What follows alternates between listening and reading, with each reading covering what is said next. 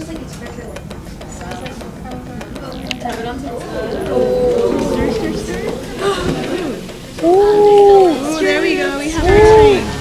it circular. Let's go. Go all around. My keep name's it even. Orfa Garcia. I'm a senior. nice. I major in biology. We are making ice cream. My name is Damon Rogers. I'm a biology major. I'm a first year, and right now we're at the C program, and we're making um, liquid nitrogen ice cream. We're the strawberry section. Uh, my name's Andy Din. I'm majoring in biology. I'm a senior here at Sac State. This is a really fun introduction to.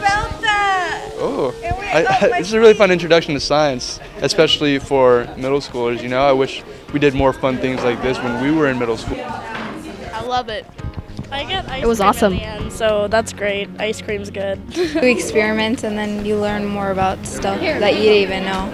I didn't want to come here because I was really mad because I was like, eh.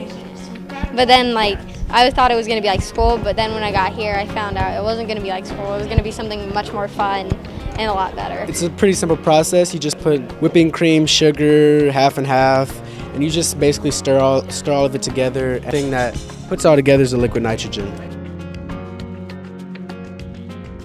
Science is really cool, and you can uh, do a lot of things that you wouldn't expect to with different ingredients from science. It's really good. Is it?